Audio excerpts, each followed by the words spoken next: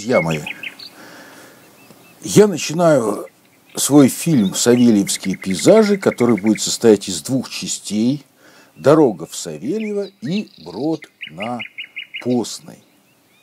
И в этом фильме я вам расскажу об особенностях пленерной живописи, пленерных этюдов. Ну, сначала я, как всегда, расскажу о том, что происходит на, на экране, а потом начну свой такой вот дополнительный рассказ, как во всех моих предыдущих роликах на разные темы касательно живописи. Ну, это, значит, мостик над Постной, он такой немножко сочиненный, да, он немножко э, ну, нет такого совсем натурного моста, я немножко придумал, но неважно, я опирался на те этюды, которые я там делал, и сейчас я, значит, сверху, как всегда, своей широкой, ну да, это бумага, вот эта вот э, китайская бумага Баухонг, что, по-моему, называется, а, которую я положил на а, ткань, на мокрую ткань, э, промочил как следует, и э, после этого бумага напиталась влагой, и я немножко добавил присадки в качестве пива и начал сверху вниз. У нас, слава богу, есть э, в данном случае э, граница, э, линия горизонта, которая позволяет нам разделить работу на два куска. Таким образом, работа идет от куска, но потом я, правда, и отдельно сделаю правый и левый берег еще есть еще одно, один вспомогательный момент. Это река, которая разделяет работу слева и справа на две части, так что можно спокойно работать. Я взял свою широкую такую беличью круглую кисть, э, ей промочил и ей же э, начинаю э, прокрывать сверху вниз. То есть сначала это у нас э, основа такая, как бы, ну, наша триада желтая, красная, синяя, то есть основа идет такая условно говоря, желтое, то есть это не просто чисто желтое, это, это ну, желтое с добавлением немножко холодного краплака, там, ну, чуть-чуть пригасить эту активную желтизну. Дальше сверху я нанес э, уже красную, это вот этот тот самый холодный красный, это ну, на основе краплака, там может быть немножко розово-фиолетовый чуть-чуть, э, бордо очень неплохо. Кстати, это более сложно замешанная краска, она не столь активная и открытая. А снизу уже пошло, э, пошло синее. И синее это э, мы добавление в, в эту нашу общую смесь я добавил немножко, ну, ну какой-то там, либо это может быть и голубая, и э, цирулиум, там, ну, любая, в общем, в принципе, синяя, э, поскольку это достаточно прозрачное место, поэтому обязательно пользоваться только голубой. Мы можем использовать и любую другую. А теперь я перешел, э, да, я смягчил, как вы видели, такую излишнюю московость смягчил широкой козой. Она у меня такая, по-моему, десятка, что ли, 10-сантиметровая. А, И начал проработку дальнего плана, поскольку я э, ну, даю такой некий эффект тумана немножечко, чуть-чуть такого, ну, скажем, это вечерний закатный туман. Поэтому дальние деревья, дальние какие-то объекты, они у нас такие легкие должны оставаться то есть э, соблюсти такую плановость э, в выполнении работы.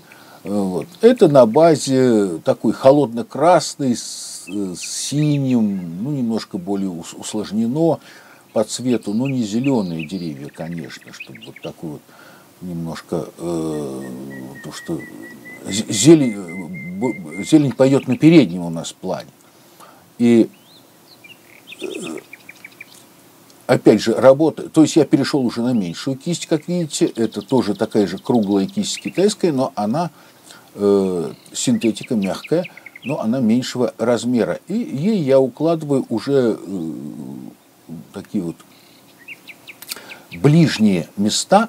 Ну вот пока я это делаю, я все-таки э, перейду, я хочу вам рассказать про пленерную практику и потихоньку буду фрагментами об этом рассказывать.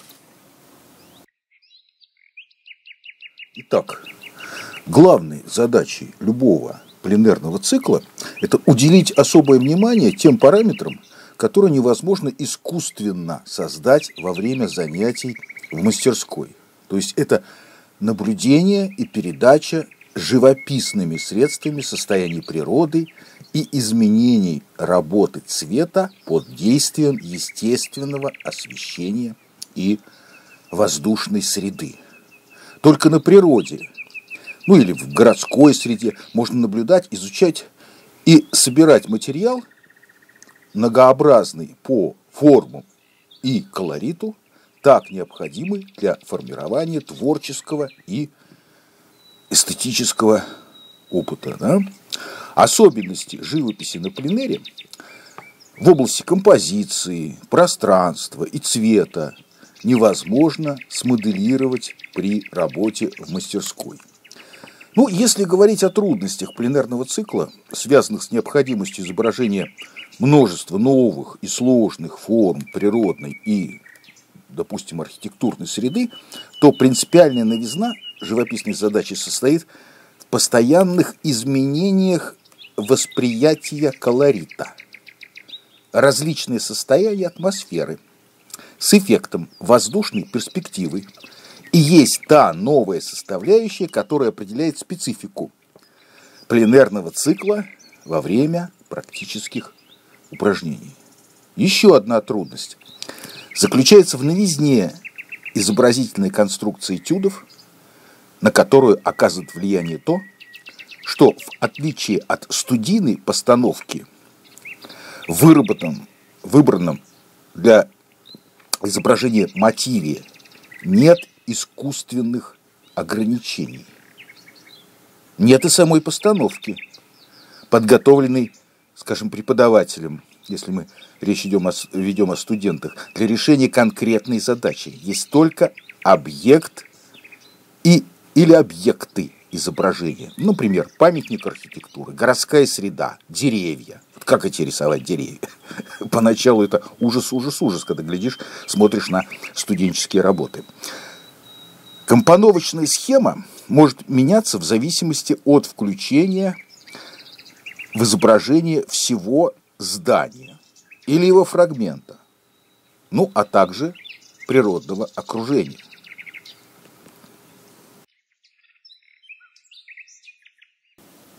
Ну, а теперь, что я за это время сделал?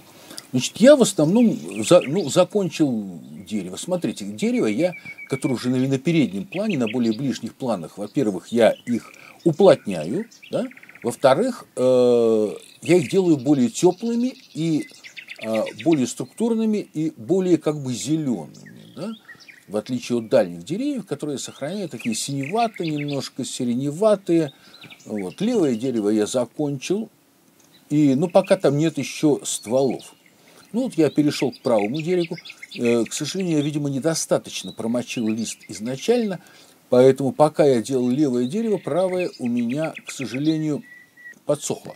Ну что мы в этом случае делаем? Мы дожидаемся полного высыхания листа, чтобы не испортить набрызгом и подмачиваем правую часть, в данном случае я это сделал пульверизатором, и после этого так, ну, надо иметь в виду, что когда вы подмачиваете, промачиваете это дополнительно, ну, либо кистью, либо губкой, либо пульверизатором, но а, он, э, бумага быстро высыхает, поэтому я так немножко побольше промочил. Вот я промокнул, поскольку лист э, находится под небольшим углом к горизонту, но тем не менее вода течет вниз. Ну вот я снял эту лишнюю воду и приступил, пока э, эта поверхность сырая, это вполне можно делать, можно спокойно как бы вписывать новый кусок, заново промоченный, в то, что мы уже с вами сделали, да, вот левая часть, ну, в основном закончена, вот мы приступаем к этой правой части и уже так активно продолжаем.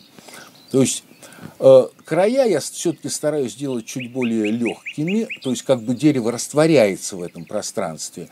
Ну и по возможности, ну это по ситуации, по необходимости, иногда более теплыми, а внутрь дерева э, становится более холодным и более плотным. Надо, конечно, брать с неким запасом, поскольку зеленая краска, как мы знаем, при высыхании сильно высветляется, теряет плотность и тона, и цвета. Вот. Поэтому, ну, опять же, я работаю вот такой вот круглой кисточкой спокойно. И, ну, пока бумага держит, я это продолжаю делать и усиливаю этот тон в середине. Тут очень важно что? Важно сформировать вот эти кроны деревьев, структуру определенную, э, оставить какие-то пробелы внутри дерева, для того, чтобы потом мы туда впишем стволы и так далее. Э, то есть э, дай какой-то, то есть отнести, отнестись к дереву как, как к любой форме, как, я не знаю, как к горшку на столе, как к зданию и так далее. То есть проследить эту форму дерева или придумать, как я в данном случае делаю, э, потому что, в общем, пейзаж достаточно такой фантазийный, сочиненный. Вот, поэтому я так представляю, как круглится э, этот, э, эта ветвь, там крупная какая-то ветвь, где она уплотняется по тону и ухлаждается одновременно, где она несколько усветляется. Но, правда, у меня не солнечное освещение, поэтому Э, освещенная часть э, крон, она не становится слишком теплой. Что касается оборудования рабочего места, ну, такие общие советы, да, Работа на пленэре требует определенной подготовки по подбору инструментов, экипировки и оборудованию рабочего места.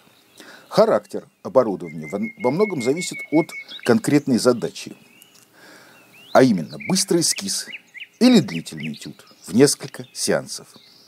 При выборе оборудования необходимо учитывать особенности и живописной техники и материалов.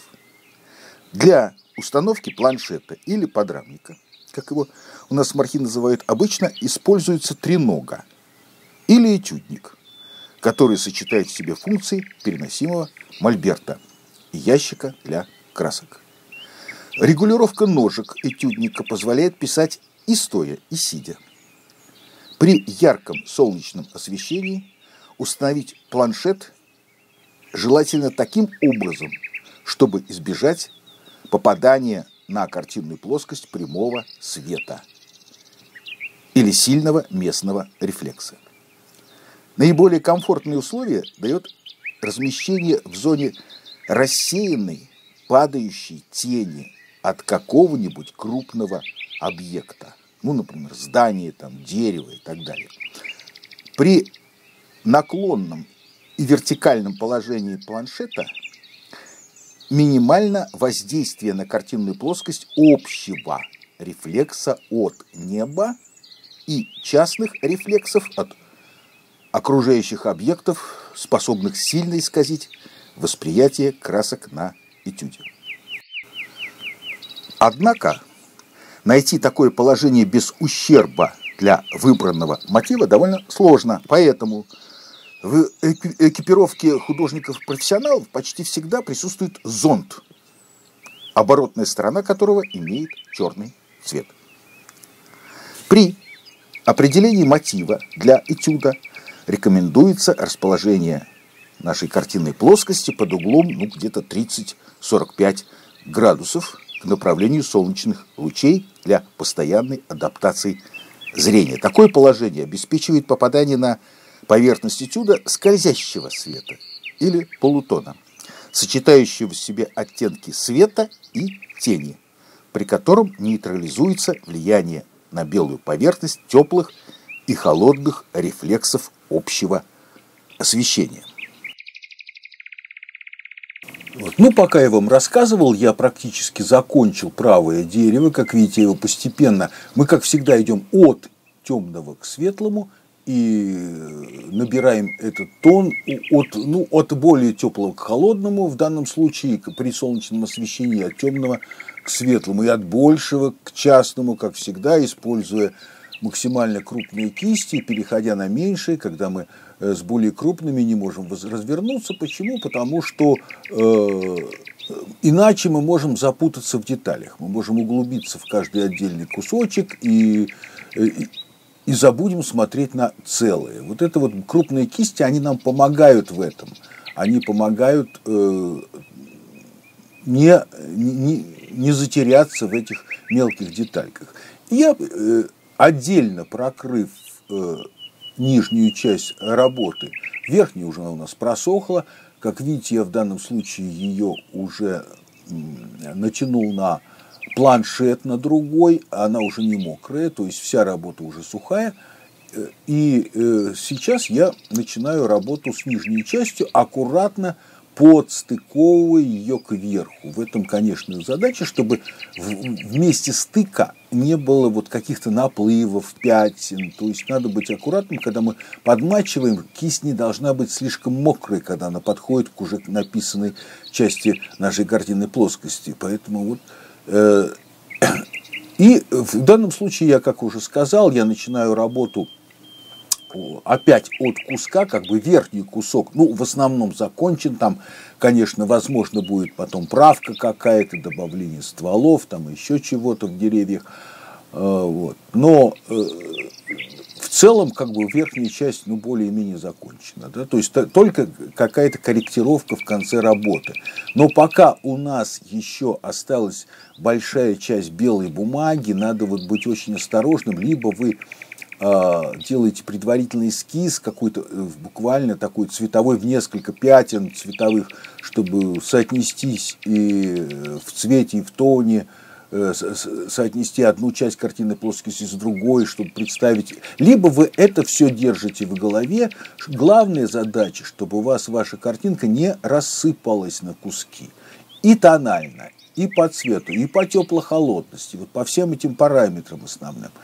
Ну вот сейчас я значит, взял, э, ну поскольку у нас вертикаль, как я всегда говорил, деревья, они вертикальные, то есть, ну в данном случае нет такого солнечного освещения, но в любом случае какое-то присутствует, пусть оно такое вечернее, туманное, э, вертикаль всегда более холодная и более плотная. Э, и, а горизонталь более освещена и более теплая. И более того, мы же прекрасно знаем, что все теплое и менее плотное, оно идет на зрителя, а э, более холодное всегда уходит от зрителя. Вот таким образом мы тоже разделяем планы. И весь низ у нас, да, еще повышается, безусловно, контрастность. То есть в данном случае я использую принцип э, воздушной перспективы, я уже говорил об этом, что это можно не всегда делать, в каких-то случаях можно акцентировать второй план, то есть зритель как бы смотрит на второй план, а передний там низ, там какую-то траву просто подмахнуть, она есть там и ладно. Но в данном случае все-таки я, э, несмотря на акцентуацию второго плана, тем не менее, в общем, прорабатываю и передний план тоже, и соблюдая вот этот закон воздушной перспективы. То есть я сначала, э, дорожка у нас в данном случае, она нам в чем еще, как я уже говорил не раз, помогает, она соединяет низ с верхом, то есть в ней много каких-то э, цветовых моментов и тональных, и цветовых, которые сближают дорожку с э, небом, то есть она как бы немножко отражает, в ней тоже участвует и холодно-красная, и охра или желтая, или неаполитанка желтая, ну, чуть-чуть пригашается где-то синим. Опять же, это буквально та же практически палитра, но немножко в других соотношениях, что и в небе. И такая связь. Иначе э, у нас низ может, э, рискует сильно оторваться от верха нашей картинки. Вот. Ну, я проложил, значит, э, освещенную часть э, работы э, вот таким сначала теплым-теплым, но заметьте, даже светлая часть травы у нас э, значительно плотнее по тону, чем эта дорожка. Ну, дорожку я еще буду править, я ее еще буду немножко уплотнять местами, чтобы она не была таким вот одной единой заливкой неприятной. А, вот. И, а теневая часть, то есть я там раз какие-то кустики делаю на траве, какие-то травинки, там, ну что-то, ямочки, еще что-то. Э, это уже идет у нас э, изумрудка в сочетании, значит, она либо убивается немножко, пригашается, поскольку она очень химична э, по своему цвету, она пригашается э, холодно-красным, там в каких-то случаях в нее можно добавить и синее где-то ухолодить еще больше. И, усложнить цвет, и охру, чтобы тоже усложнить цвет. В общем, здесь вариантов довольно много. Ну, в принципе, вот видите, вот внизу у меня там холодно-красные оттенки присутствуют. Вот. Они как бы, ну, вы знаете, что холодно-красные, добавленные в зеленку, уводит это в серый цвет, то есть коэффициент серого повышается таким образом, поскольку это краски приближены к дополнительным, да, а дополнительные при смеси, как мы знаем, они дают серый оттенок. Ну, в данном случае, поскольку изумрудка – это холодно-зеленая, э, караплак – это холодно-красный, значит, просто у нас получается не просто серый, а уже такой холодно какие-то серые оттенки. Ну, в зависимости от того, чего больше, либо этого красного, либо зеленого, у нас появляются значит, э, разные градации – ну, в любом случае, если мы в зеленую траву где-то вводим вот эти, не обязательно даже холодно-красные, это может быть даже охро-красные, ну, то есть, как бы э, появляется вспышка э, земли там, ну, как дополнительно это очень хорошо к зелени работает, э, обогащает эту нашу зеленку, это не просто превращается в зеленый, зеленый еще зеленее. Вот. Ну, вот теперь я э, усложняю дорожку, то есть я добавляю туда и фиолетовато, красноватые оттенки, синеватые оттенки, то есть немножко его уплотняю местами, то есть так оживляю. Вот. И таким образом я левую часть моей работы постепенно заканчиваю. Я меняю кисточки, но в основном работаю, как видите, вот этой примерно сантиметровой э, круглой китайской кистью, э, ну, хотя тут вариантов достаточно много. Иногда я это делаю плоской кистью, э, синтетикой, э, там, причем немножко разных размеров, чуть больше, чуть меньше, иногда вот круглыми. Тут, в общем, что называется, что под руки попалось. То есть у меня там набор кистей, я так хватаю то, что мне интуитивно кажется лучше. Точно так же, как я не задумываюсь о том, какую краску я сейчас буду с какой смешивать. Это все естественно, происходит автоматически. Это я вам пытаюсь изложить и сказать, самому разобраться, а что же я тогда мешал. Вот. Ну вот, э, дальше идет, вот сейчас идет уже, конечно, процесс корректировки. То есть мы наложили плотный тон, наложили светлый тон, где-то мы сейчас подправляем средний, где-то усиливаем плотный в, каких-то, э, в каких-то местах. И Э, так, опять же, взгляд все время скользит, ну, в данном случае не, не по всей картинной плоскости, поскольку у нас правая часть нижняя не сделана, но, значит, по всей той, что сделано. Тут задача еще в том, чтобы у нас низ не оторвался слишком от верха. Как видите, верх у нас более прохладный, интенсивно более прохладный. Вот. Ну, поэтому вот в тенях я стараюсь Э, добавить какого-то холодного тона, чтобы, чтобы эта тень, э, теневая часть композиции не, э, не отлетела от, от нашего верха. И работа идет по такой вот ну, полувлажной поверхности. Чуть-чуть там где-то влажность осталась, чуть-чуть она уже подсохла, безусловно. Иногда это просто уже переход на сухую технику. Э, ну, все, все равно, тем не менее, мы это называем альпримой, э, несмотря на это, потому что ну, включение каких-то таких сухих элементов по сухому, ну, в общем, оно не так значительно, оно мелко э, и не портит общие картины. Здесь еще главная задача не слишком засушить, что называется. Ну вот, пока я перехожу к воде, я закончил эту левую часть и, и промачивая воду, я продолжу свой рассказ. Ну и что касается выбора мотива его состояния освещения. У, учитывая влияние фаз освещения на восприятие, восприятие цветов, в солнечную погоду нужно максимально использовать утренний и вечерний свет. Почему? Проявление яркости собственных цветов предметов в это время дня. Наибольшее, а положение Солнца обеспечивает значительную рельефность и мягкость светотени.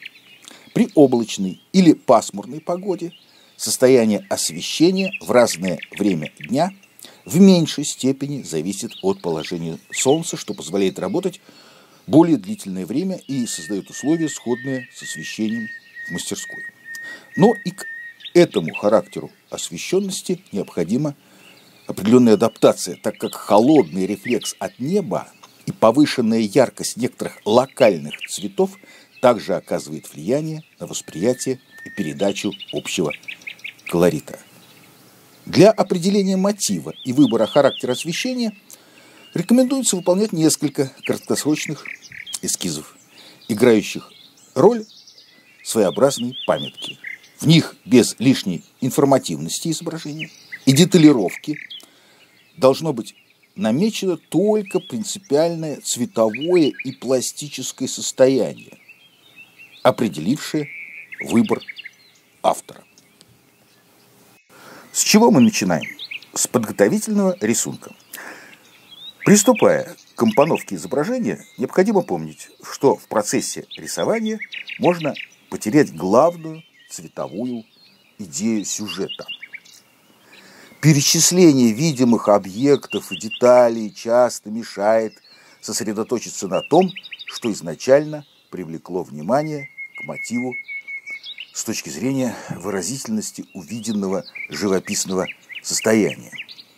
Предварительный рисунок должен учитывать компоновку цветовых зон и характеристики, то, то бишь масштаб, степень яркости и тон.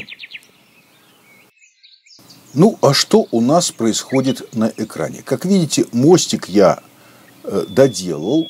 Ну, это я доделал без камеры. То есть я снял с него резерваж. Я там, да, кое-где там чуть-чуть э, добавлял легкого резерважа, жидкого, ну, чтобы там перила мостика, еще что-то. Какие-то часть перил я уплотнил, какие-то я оставил более светлыми, чтобы они читались на фоне задних деревьев. Немножко протонировал сам мостик и деревянную его часть нижнюю. Вот. И э, я сделал э, в данном случае речку. Э, речка, речка в нас немножко зеркалит. Она зеркалит небо, ну, по, по этому принципу пошел. Тут можно было бы разные варианты пустить. Можно было запустить вариант, когда э, речка имела бы другой цвет, но в данном случае я решил вот как бы немножко отразить это небо.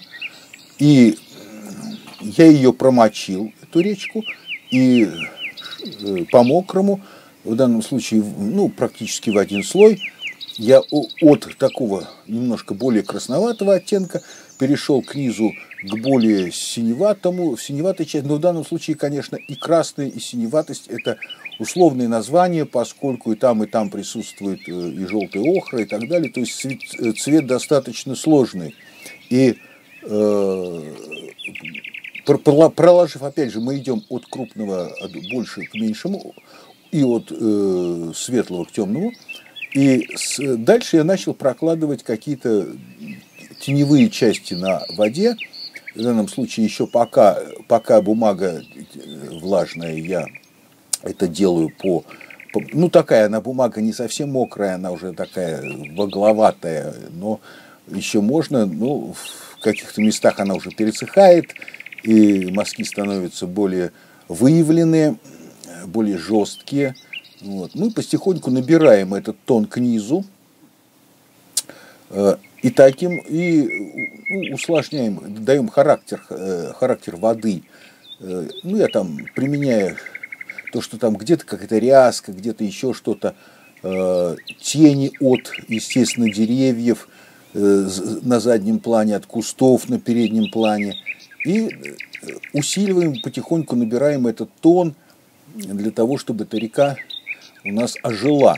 Здесь, ну, как любая вода, вот сколько вы будете писать там или писали, э, тут важная задача, чтобы вода, там, что в речке, что в озере, чтобы там море, я не знаю, э, не встала вертикально. Поэтому мы даем какой-то любой разгон. Там есть очень много вариантов решения э, этой воды, это могут быть и свет сверху, более плотная часть к низу, иногда в каких-то случаях наоборот, иногда даются какие-то рябь в каком-то месте прослеживается, то есть, э, ну, в данном случае, конечно, нужно смотреть на натуру, в отличие от меня, я это все, конечно, просто придумывал, ну, как бы, как придумал, и вспоминал, и много-много раз это, конечно, делал подобные вещи, то есть здесь много такого сочиненного момента, но в данном случае, поскольку э, речь идет о рекомендациях на натурной работе, вы это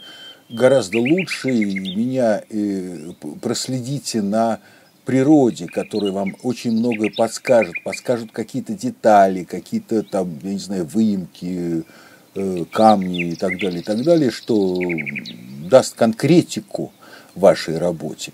Ну, теперь я сразу приступил к э, изображению правой части, в данном случае – Опять-таки повторяюсь, что это очень удобно. У нас картинка разделена на несколько зон, и правую часть можно, опять же, точно так же э, э, работать, э, как и в натюрморте, кстати, от куска, э, то есть не, не обязательно ждать, то есть э, успеть в тот момент, пока вся бумага не высохла. Можно ее отдельно промочить. Иногда вот есть такая, э, такой способ, это работа, э, ну, как бы по полумокрому, то есть э, вы промачиваете этот кусок, если он недостаточно большой, и вы с этим можете справиться, вы промачиваете не водой иногда, а, а самой кистью с краской то есть, э, ну, какой-то светлый, светлый тон вы прокладываете и быстро работаете, пока этот кусок не высох, вы в него вписываете уже там, вот, э, соблюдая вот эту последовательность тепло-холодного и от светлого к темному, вы вписываете, э, уплотняете в, какие-то, в каких-то местах. Ну вот, видите, я периодически возвращаюсь и к левой части, где-то какая-то правка, потому что глаз все время держит всю картинку, э, и э, не нужно уходить вот так вот, привязываться отдельно к какой-то части, начинать только о ней думать и только за ней следить, иначе картинка действительно может развалиться, если вы не смотрите. Вот вы пишете траву, вы посмотрите на небо, посмотрите на дальние деревья, как согласуется вот этот передний план вот с его повышенной плотностью, э, повышенной теплотой э, и повышенными контрастами, безусловно, тональными контрастами, как это согласуется с дальним планом, то есть вы все время держите. И учитывая, конечно, еще тот э, очень важный фактор, что при высыхании, к сожалению, на, на, причем на разных бумагах это по-разному, теряется тон и цвет. В данном случае у меня такая бумажка, которая, ну вот я сделал очень плотные деревья сзади, с таким, с неким запасом, э, но при высыхании это уже потеряло тон и цвет, да, ну я не показал, я там сделал небольшие какие-то стволы в этих задних деревьях, но они такие неплотные, да, вот это тоже очень важный момент, потому что Часто люди начинают, ученики, думать, что если это ствол, то он практически черный. Но если он на втором, на третьем плане, то он, извините, он, а, он ну, может быть, чуть плотнее тона э, этих ветвей, но тем не менее он тоже достаточно, он не черный. Ну, есть как вот, э, ну, любой тон сзади, вот вы положите спереди э, черный сапог, да, и сравните тон этого сапога и дальний, и дальний план, да, если вы дальние стволы сделали почти черными, то чем вы будете делать этот сапог? То есть э, все время это должен быть какой-то в голове камертон. Вы должны понимать э, вот, вот эту тональную. Вообще тон это на самом деле наиболее важная часть, я имею в виду тон именно как э, степень светлости или темности какого-то определенного места а не цветности, да, а, вот должны это чувствовать постоянно, потому что можно немножко промахнуться в цвете, это ну, не очень приятно, но не катастрофа.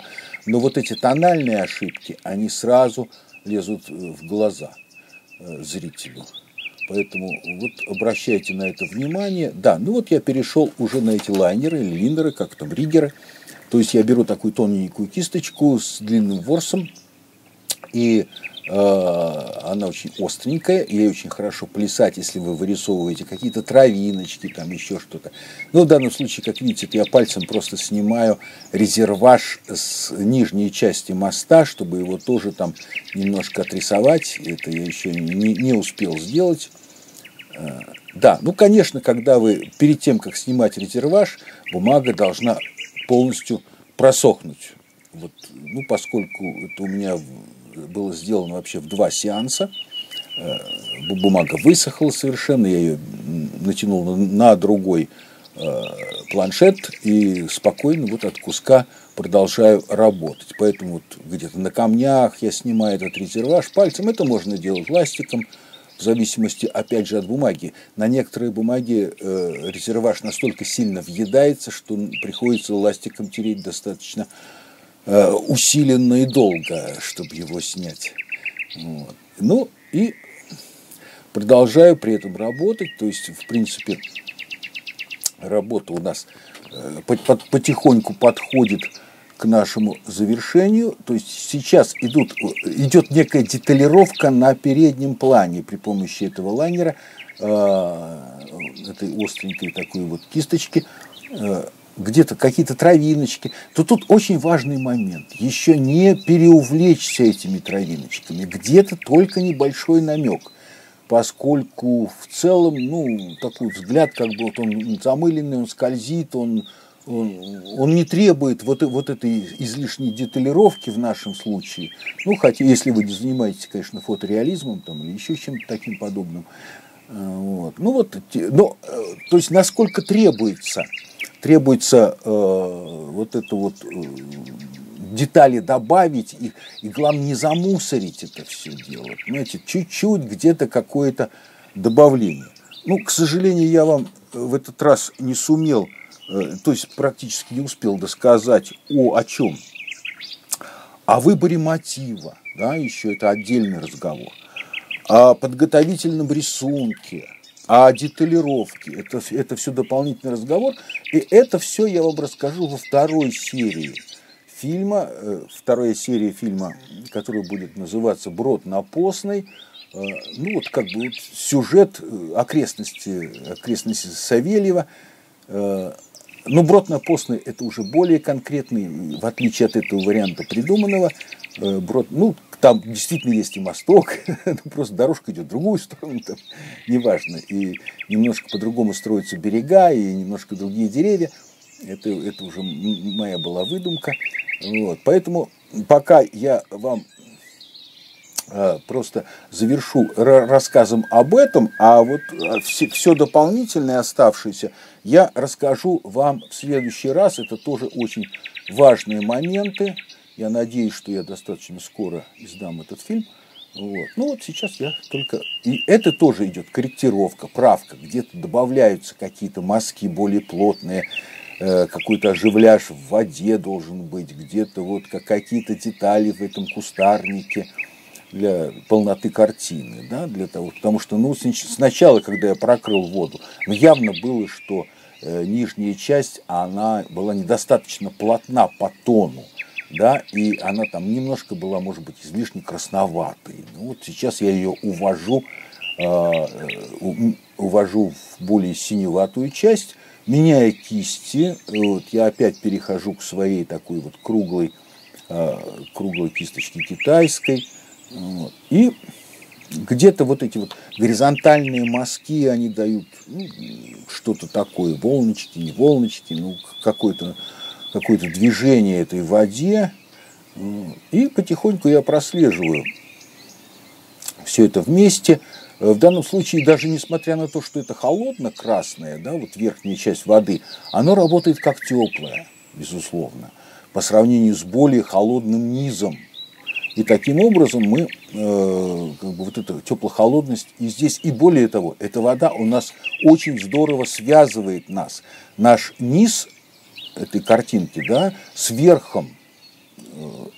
И э, таким образом достигается некое необходимое единство. Ну, в каких-то случаях э, эту роль выполняют дорожки, иногда это могут выполнять роль там, ну, крыши каких-то сараев, домов, которые тоже э, связываются немножко тонально и колористически с небом.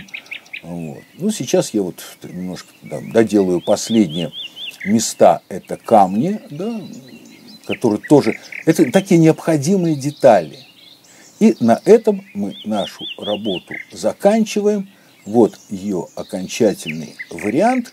И, э, так сказать, до встречи с вами э, во второй части моего фильма. Ну, а сейчас посмотрите оставшиеся, остальные, вернее, а, пейзажи окрестностей этого Савельева. Но я выбрал такие именно туманные пейзажи, поскольку и здесь был немножко такой намек на вечерний туман.